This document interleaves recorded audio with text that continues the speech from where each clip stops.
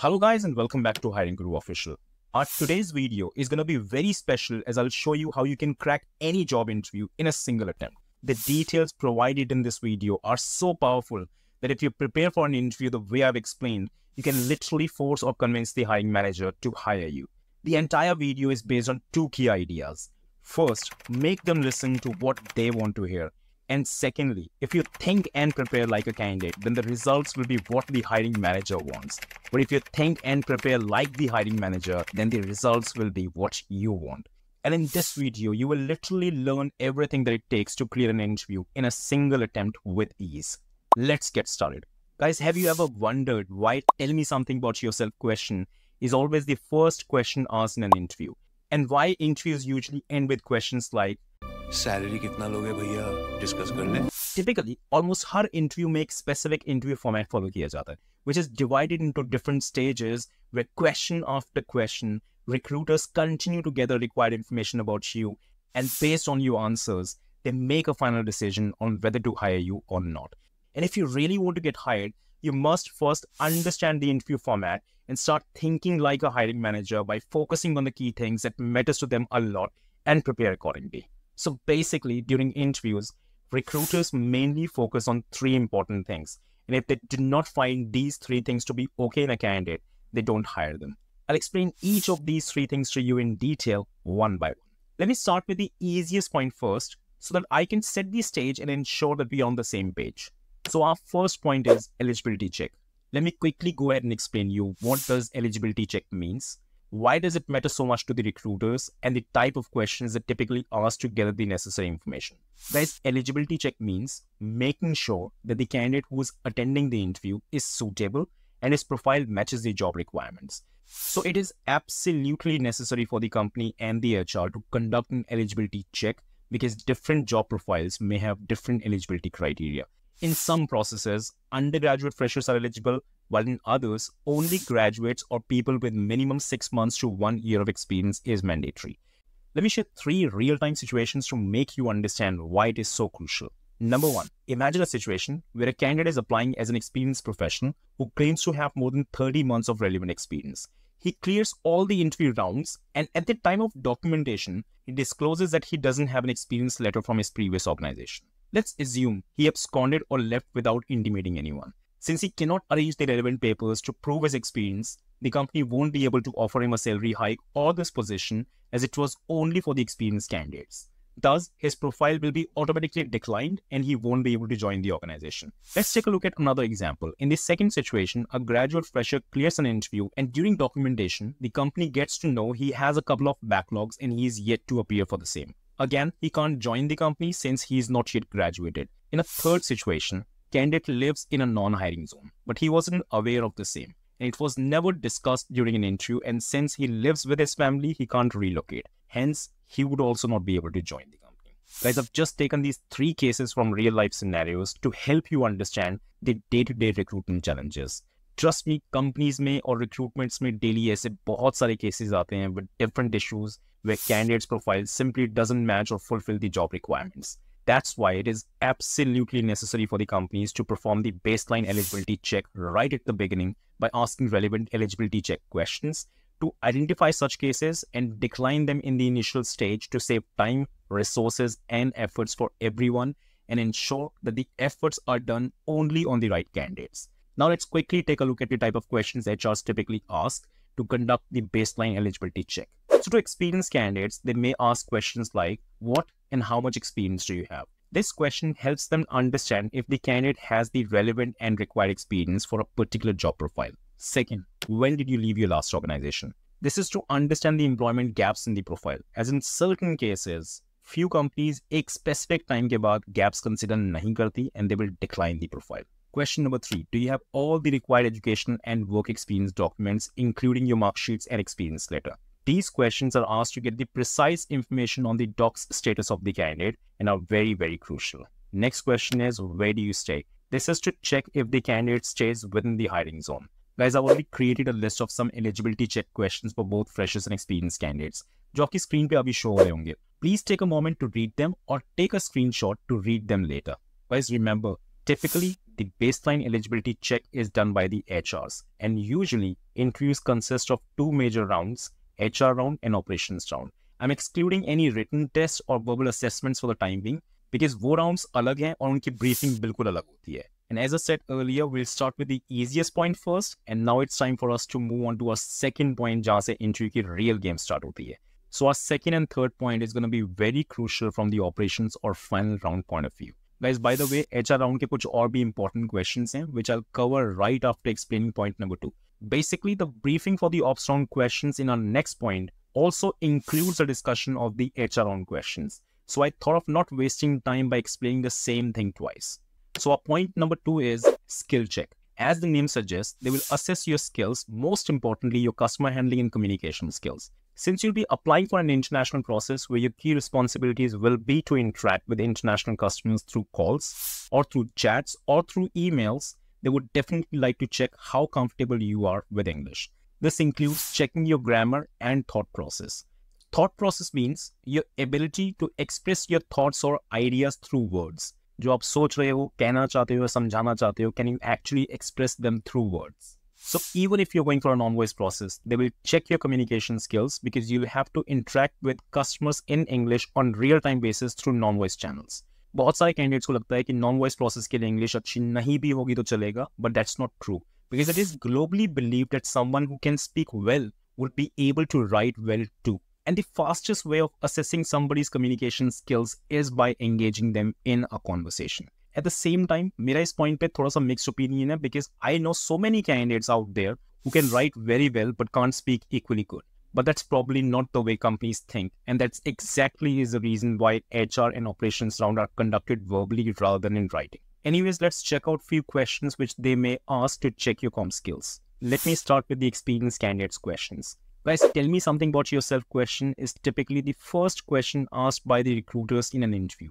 ये क्वेश्चन बहुत इंपॉर्टेंट है और बहुत अच्छे से प्रिपेयर करना चाहिए as it provides them with lot of की information like qualification work experience confidence level, communication skills, and more. So, based on the candidate's response, they decide how much time they should spend with the candidate to check their skills further. So, a well prepared and rehearsed introduction leads them to focus less on communication skills while a shaky one where candidate lacks the confidence and have broken speech pattern. Broken speech means candidate atak atak ke bol rahe and he's not able to express himself properly. So all these issues create doubt in the recruiter's mind about your ability to communicate well so so, उनको लगता है कि जो इतने basic question का answer properly नहीं कर सकता उससे कम्युनिकेशन स्किल्स खत्म होंगे सो दे इधर stop the interview right there or if at all they decide to move ahead with the interview, they'll start asking other questions to deep dive into your communication abilities. So generally, in order to check your comms, they will start asking open-ended questions where you cannot say a simple yes or a no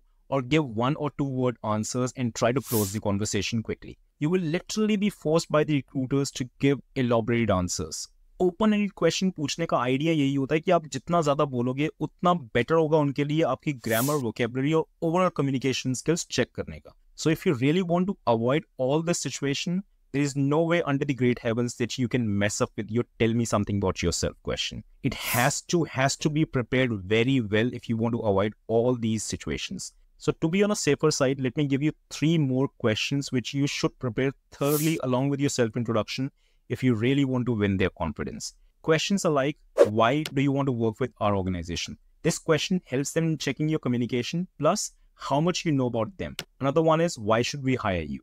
Again, the purpose remains the same. They want to check your communication skills and how well you can sell yourself in an interview. Plus, be ready with the questions related to your weaknesses or strengths. And if you're applying as a fresher, then you must prepare all these questions which are just discussed along with the questions like, what do you understand by customer service? Or why do you want to work with BPOs? Guys, यहाँ तक तो situation बिल्कुल usual और normal है. But उनको अगर किसी candidate के कम्युनिकेशन स्किल्स पर सीरियसली डाउट लगता है तो वो स्टार्टिंग में ही उस कैंडिडेट को एक टॉपिक दे देते हैं बोलने के लिए for at least a couple of minutes so that they can check his grammar and his thought process to save their time guys I won't verbally cover the answers of all these questions which I just discussed because if I start discussing answers then this video will become too long. By the way, I've already created separate videos on all these questions where I've explained everything in details and all these topics or videos are available on my channel. I will share the link of all these videos in the description box for you to check out Or if you wish, you can visit my channel and watch all these videos later. So by asking all these different questions, not only will they get a fair idea about your communication skills, but at the same time, they get a lot of other information about you as well, like your confidence level, how mature you are as an employee, what sets you apart from others, and what you can bring to the table for them, and so on. Once you watch all these videos that I'm talking about, you will get the exact information that I'm talking about. So जो भी questions हमने discuss किए हैं अभी तक इस point में, I've created a list of all those questions and few additional questions. You can either pause this video to read them or take a screenshot and read them later.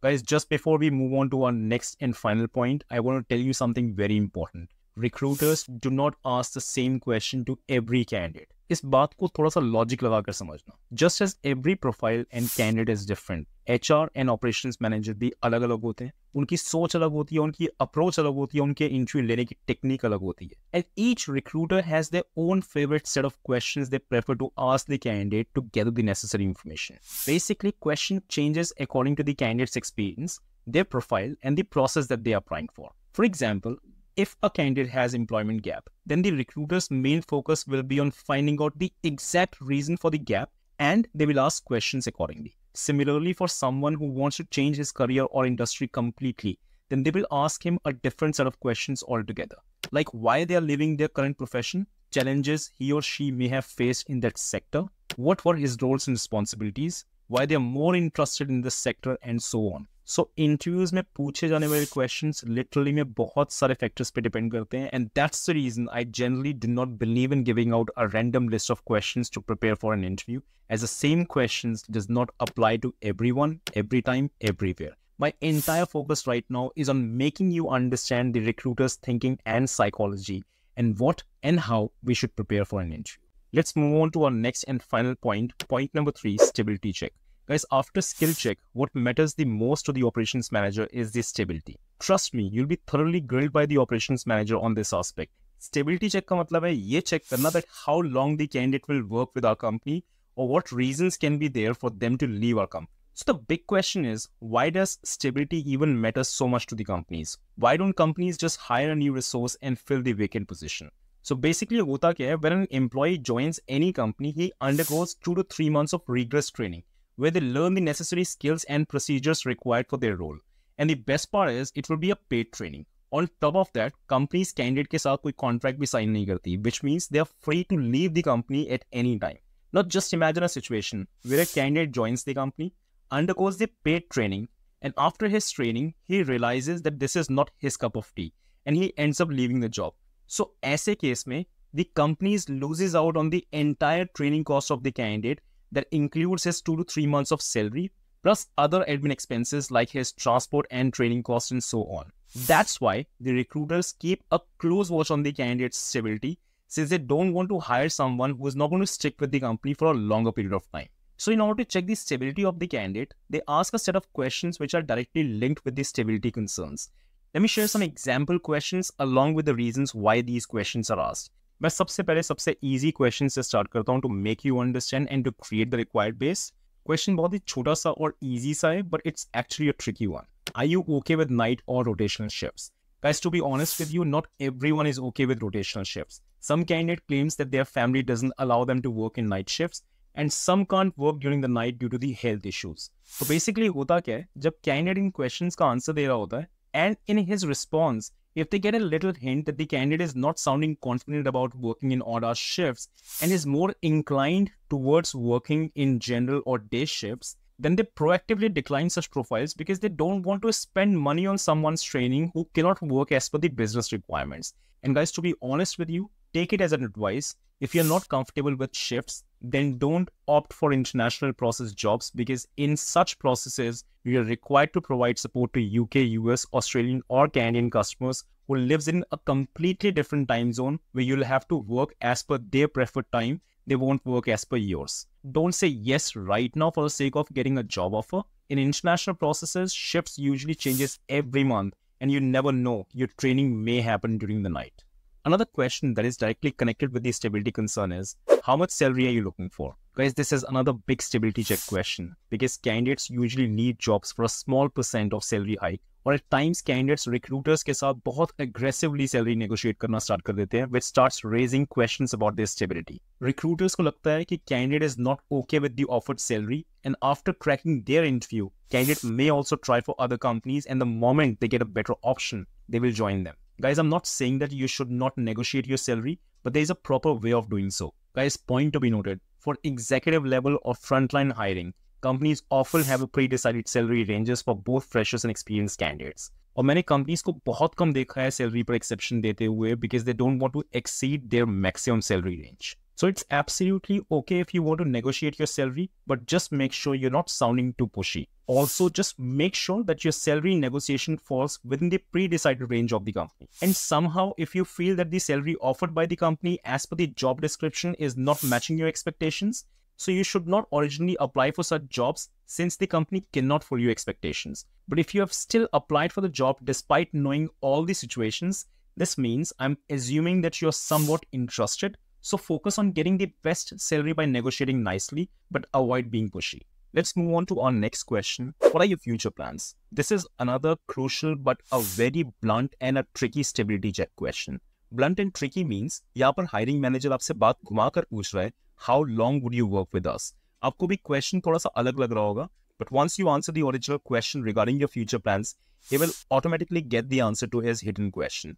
और ये same question बहुत अलग अलग तरीकों से भी पूछा जाता है like where do you see yourself five years from now और what do you want to achieve in life all these questions have one purpose and that is to find out how long would you work with us let me explain you through an example imagine you own a small or a medium sized business and want to hire few employees for customer service roles so during an interview, you ask one of the candidates about his future plans, and the confident and ambitious candidate says, I have some excellent startup plans in my mind, but unfortunately, I'm not getting any financing right now. So, for the time being, I plan to kickstart my career in this industry and support myself and my family financially while continue to work hard to fulfill my dreams.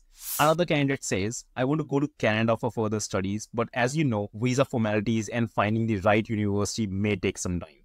So for the time being, I want to get into this job to learn and improve my skills. Guys, trust me, I can share 20 more such examples where people say a lot of creative and ambitious things during interviews to sound productive and impressive.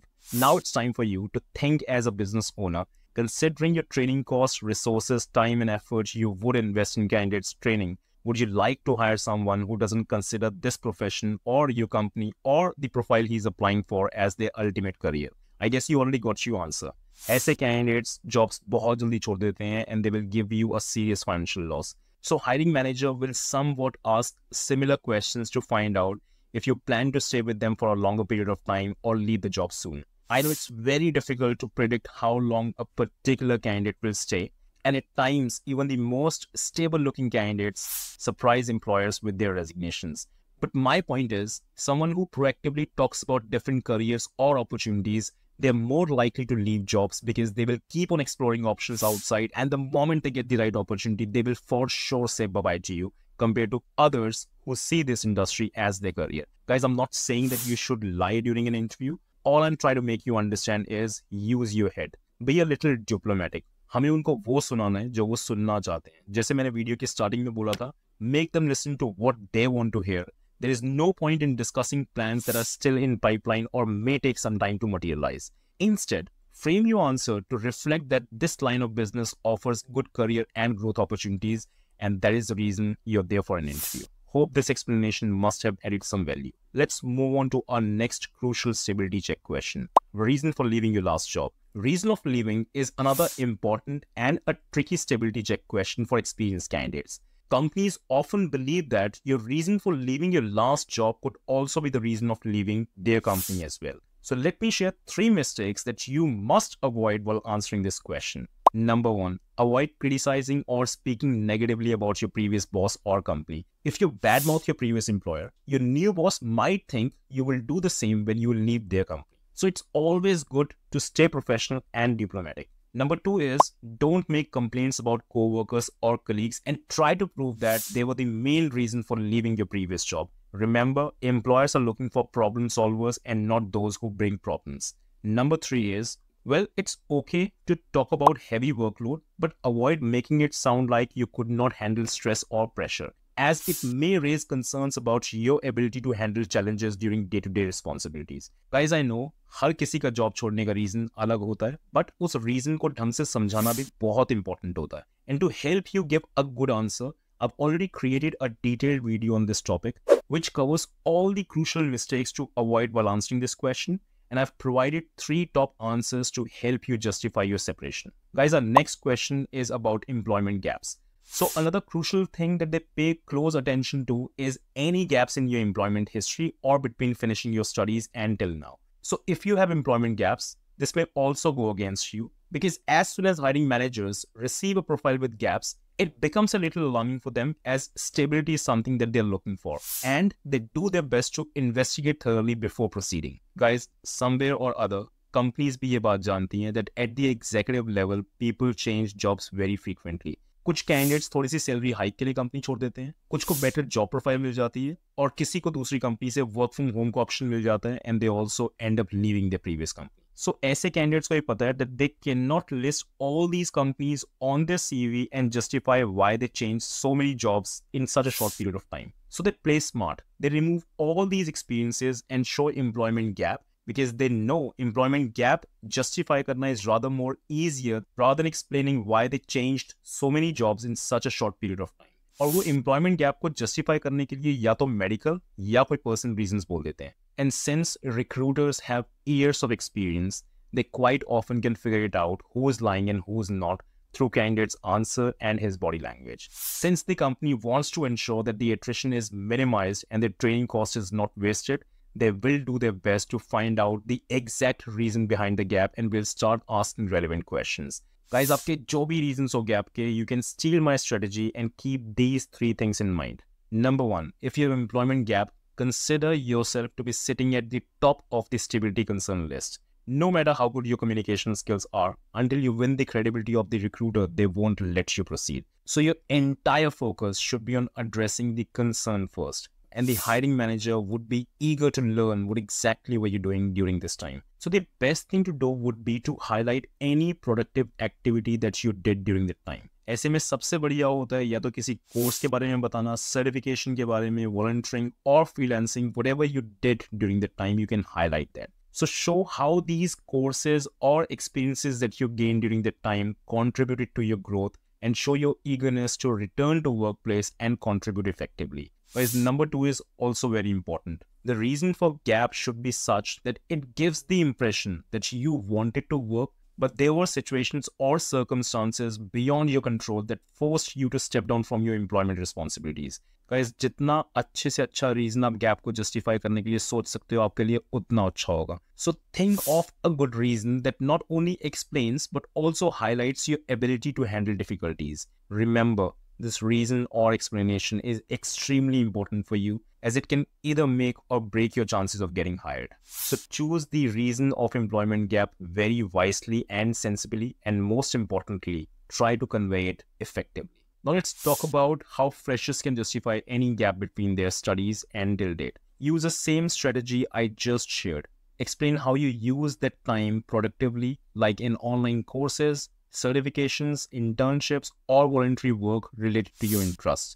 Be confident और बस एक चीज का ध्यान रखना hiring manager का concern है candidates stability so proactively अपने आंसर में you must specify that you have decided that this industry is gonna be your ultimate career and you want to kickstart your career journey with a brand like them. Guys, now it's time for me to share a list of all these questions which we have discussed in this video so far for freshers and experienced candidates. सारे questions की list आपकी screen पे show हो रही होगी। You can इधर pause this video to read them और take a screenshot and read them as per your convenience as I mention earlier the questions completely depends on the candidate's profile and background. And being a final decision maker, operations manager जो सही लगेगा आपकी profile के हिसाब से वो आपसे वैसे क्वेश्चन पूछने वाला है। For example he may ask you could you please explain your previous companies process और K R As K R As means key responsibility areas Guys, I honestly wanted to add a few more questions in this video, but video already bahut lamba ho gaya. So for now, I'm adding some additional questions to this list, which must be showing up on your screen. But the good news is we have already covered more than 90% of probable questions they may ask in the interview. I'll be back soon with part two, where I'll brief you on pending or additional questions. Guys, as I said earlier, I will share the video links of all the important questions in the description box, which you can check out. Or else, आपकी screen पर तीन important questions show हो रहे होंगे. Click on one of those videos and I'll start briefing you further. And yes, do not forget to subscribe to Hiring Guru Official and I'll see you in my next video for further briefing. Bye now.